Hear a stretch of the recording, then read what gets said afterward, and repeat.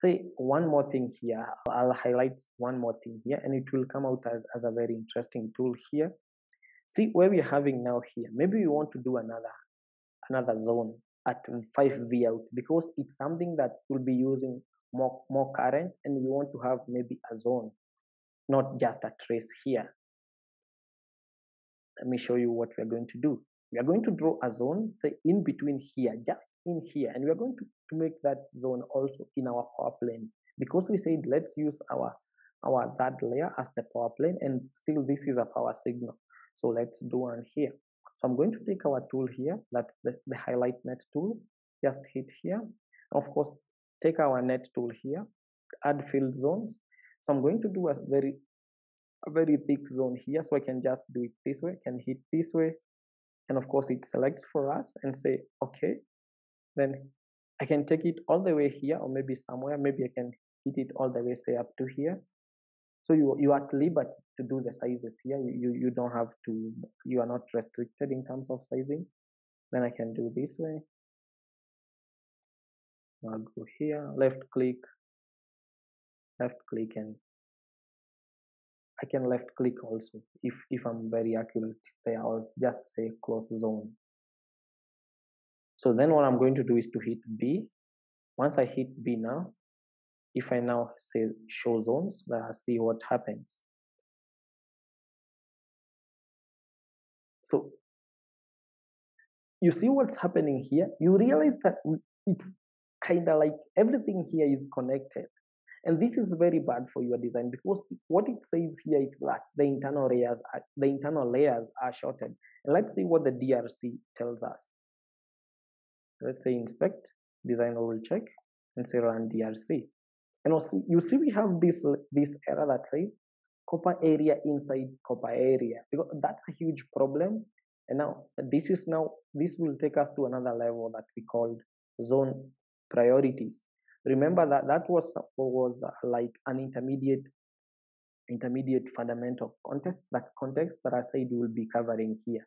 So what you're going to do is you're going to double click this one here and you see here we have we have something that's called zone priority here. By default, this value is zero. So for any other zone that we've been drawing, even on previous boards, and even on your boards that you have done them, say you've been doing boards and you have never interacted with this zone priority level, it's always zero.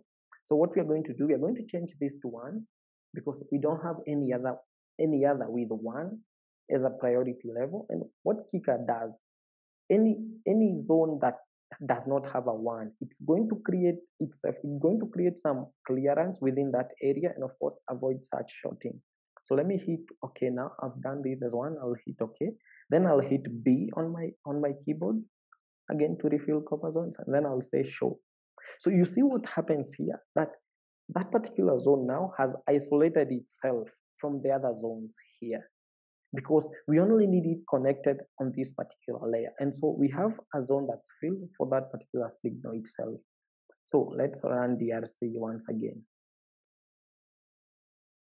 So once we run DRC, we have that now going, and of course we just have one one one problem here about some layers overlapping and stuff. Although that's a courtyard issue, but that's that's a easy fix. So what you can do if you have that as issues always, you can do this. You can move this a little bit there, or maybe you can send this to bottom layer. Just hit F on your keyboard to flip it. And of course, if I if I now run design rules check here again, and of course I should be having zero everywhere. Oh yeah, I will hide the CMTS and of course the back fab here. So again, we can delete this. We are going to delete this track. Just hit, just select one side, hit I and delete then what you're going to do is just a small a small trace here and hit V on your keyboard and of course then hit B to and of course we having everything now is connected so if we can view this layer we have everything now that's connected and we are working with the zones here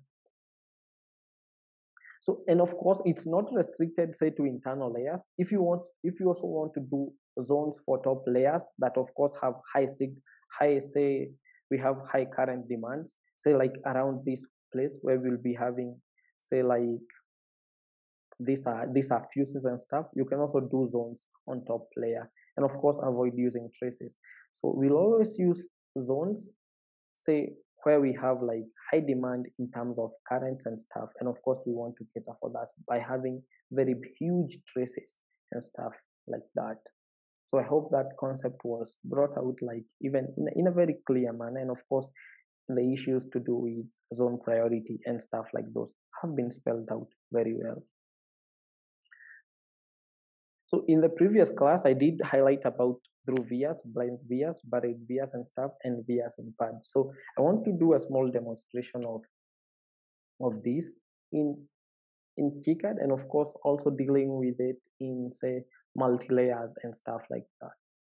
So I'll open up a, a board that was previously done so that at least I can make this concept much clear. And of course, I'll look for a board that has a BGA design so that at least it's much clear here. Think we can do, let's do like, yeah, we can do like this one here. I think it has some and stuff. So I'll just fire up the, the PCB view. Well, it's, it's a complex board here. Well, it's also a four layer board. So it has some very, very intricate design here. So when we talk about via in a pad, it means that you are drawing a via on top of a pad. And you see, this is this is what we are having here. Like these are these are vias on top of this is a BGA package and it has vias that are placed on this pad. And it's usually very easy to do this. So when you want to do a VIA in pad, also very easy. It's not a complex thing. It's just a fancy way of saying how we do things here. Just just do the route as usual and then hit V. Let me like delete one here so that I can redo that. So what you usually do is just select as usual and then hit V and of course you have to go with a smaller a smaller via size here like this one so i'll hit this and of course hit v and then just place it there so this is something to do with via in pad and of course the via the via should be small so that of, of course it connects well with the with the pad. Like here you can see the type of the size of the via we are going with for this particular case. We are going with 0.04 of course. So this one here. So just hit select here and hit V and place it somewhere in the middle there. So it's also very good and used, say, when you are connecting like this particular pad to internal layers, like you can see this layer here. If I do this here, it's now used to connect 3v3, like the same signal here. So you just have to have a via, drop a via there, and you have connected that pad. So usually very easy to do that in a four layer stackup. You just drop a via and and it's done it's a it's a done deal say for that particular connection so i'll highlight a question that Zaverio did ask in terms of placing components. Like is there a specific way to place some footprints on your KiCad and stuff like that? So you can realize like if you're dealing with decoupling capacitors and stuff like those we, we say that these ones they need to be very close to your pc to your ic like you can see in this particular BGA here, we have some decoupling capacitors that are very close here. And of course, for you to see that, let me do let me do a 3D view so that at least you can see what I'm saying that they have to be very close and I can demonstrate this through the 3D view here. You can see here, like we have this, these are decoupling capacitors and of course they have to be very close to what they are decoupling, yeah?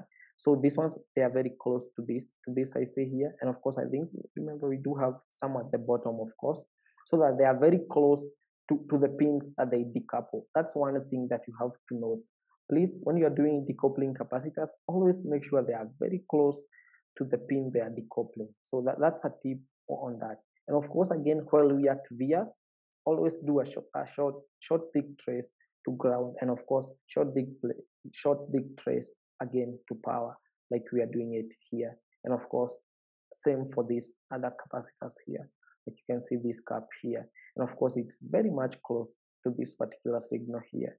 And again, it's connected through a via. And of course, we have a via in pad here. So it's just a fancy name of saying via in pad. You just put a via in pad as usual. So, so again, for this for this particular lecture i wanted to show you how like you can do four layers and where you can opt to go for four layers. And, and of course, I think you have known how to do four layers first to set that up in KiCad again, doing zones and working with zone priorities. Of course, it, it's, it's a little bit advanced concept.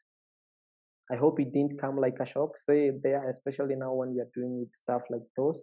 But again, it, it will be more and more practice again, and you learn how to put these things, of course, into perspective. And again, I've touched a bit on some tools, say to deal with with with the PCB layout. And of course, we'll be touching more tools as we go on, say like every other tool here and what it does. So let me see. But of course, we, we, we did talk about blind vias. And again, you can see them like for this for this case here. We do have vias that are, that are running now from the top layer to the second layer here. So what I'll do, let me let me just put off the that for the layer and of course the bottom layer.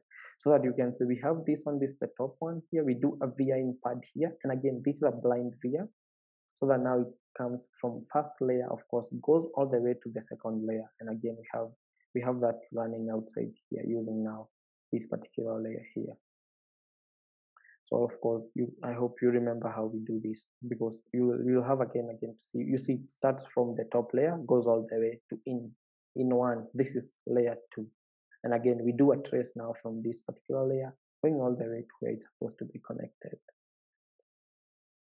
So nothing, nothing fancy there again to do with these layers. So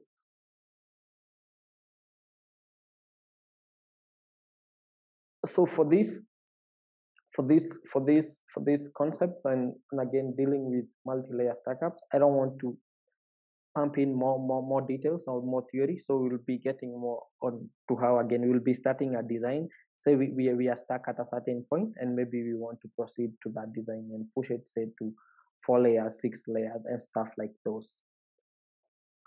So i have a question here coming from from peter saying that is there different materials separating the layers?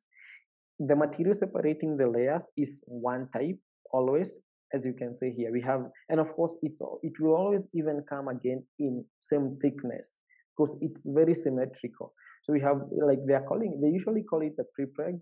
It's a different type of material like maybe like say it's glass material like the one we talked about the fr4 so it could be that type of material depending on the fab house that you are using and depending on what they use for that particular case so in most cases it will be an fr4 material that's doing the separation.